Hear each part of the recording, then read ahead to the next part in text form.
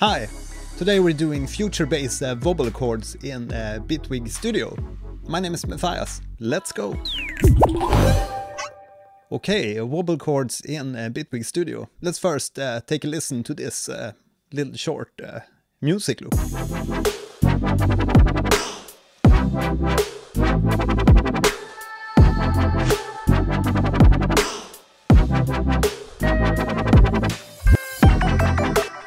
Yeah, so that's uh, what we're going to create. We have a new empty track here. And let's uh, begin by adding the polysynth of uh, Bitwig. If you can't come up with chords yourself, search for your favorite uh, future bass artist uh, on the web. Okay, so we have a new track here, default polysynth patch. The only thing that I've added here is some uh, uh, volume automation in order in order to make room uh, for the kicks on these uh, first hits. So whenever you have the kick hitting, you drag down the, the amplitude. And uh, let's begin by dragging up the unison to eight voices.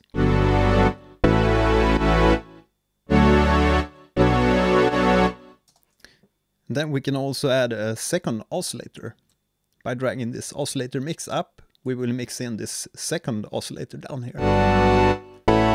It's an octave above, so let's um, make it uh, more of the first oscillator, so we hear more of the first uh, octave.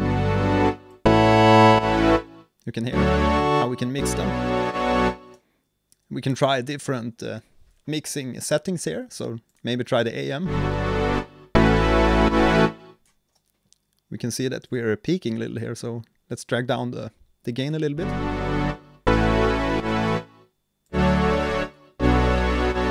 That's better. So uh,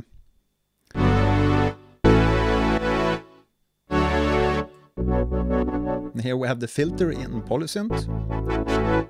Make that uh, wobble a little bit. So we can add a classic LFO to the modulation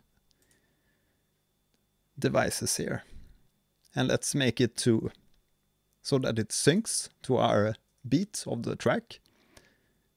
Press this dot and arrow and make it modulate the frequency cutoff of our filter and depress the bipolarity button. Make it into a triangle wave instead and set it to 8 notes.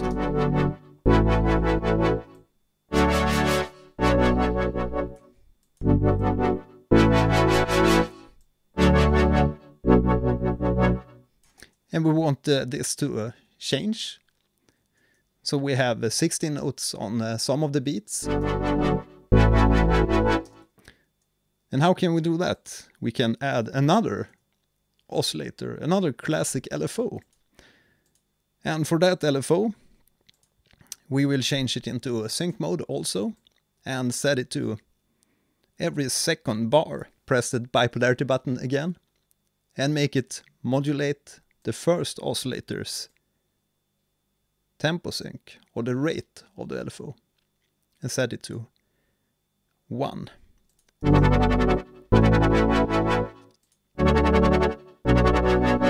And now you can experiment with different uh, uh, LFO settings here. So set it to maybe sawtooth, uh, ramp up.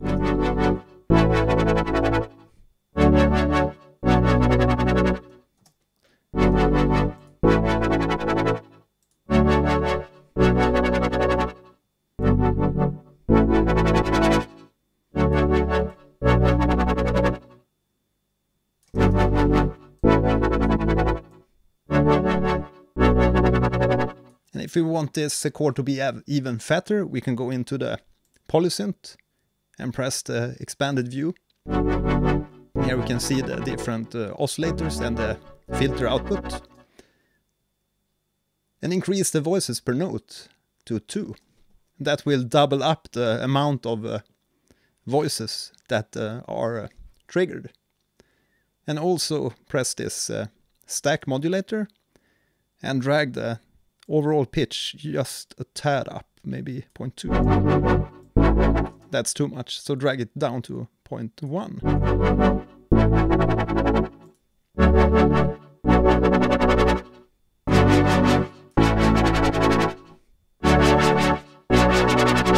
And now you can add some, uh, maybe add some reverb to this.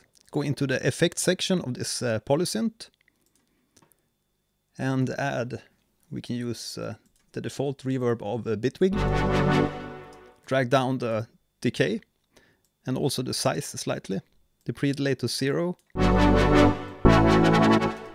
Go into the wet effect section and add uh, an EQ2 or EQ5. Make sure to cut out the lows of the reverb and make a high shelf. So the uh, reverb is a little bit more damped, like a hole.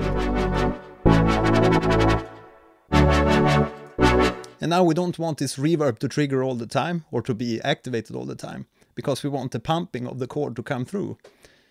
To do that you can add a modulator in this uh, reverb setting to audio sidechain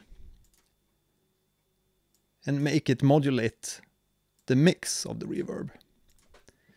That means that as soon as we have signal coming in, coming in, coming into the to the reverb, it's going to drag down the mix, and we're not going to hear any mix of the reverb. And as soon as uh, the chord stops, we will gradually hear the the mix of the reverb coming in. You can also see that on this uh, mix uh, mix knob.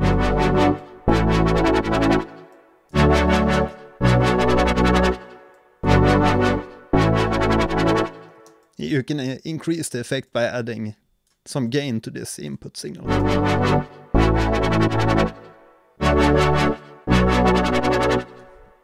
And now you, ha you have a much more tight sound.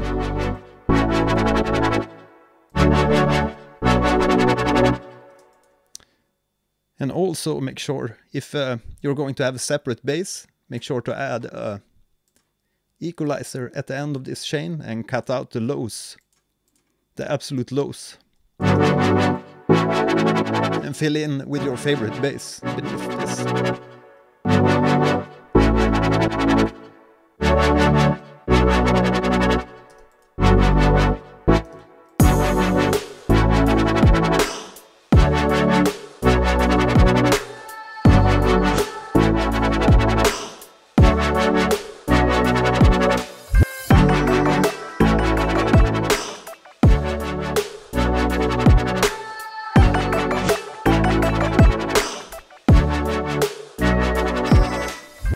You can furthermore make this uh, wobble more interesting by adding a ParSeq uh, modulator to this uh, to this uh, polysynth.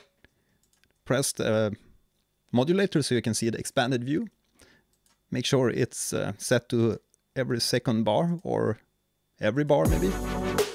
Now we can see where it is in the, the step sequencer.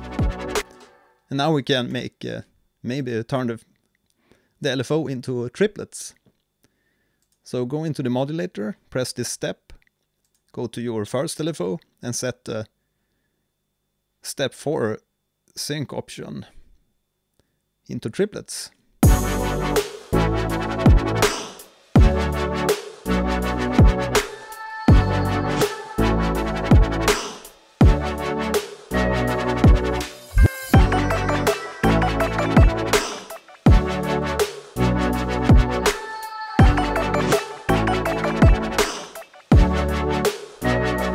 Yeah, so that's uh, how you go about uh, creating uh, chords in uh, Bitwig Studio.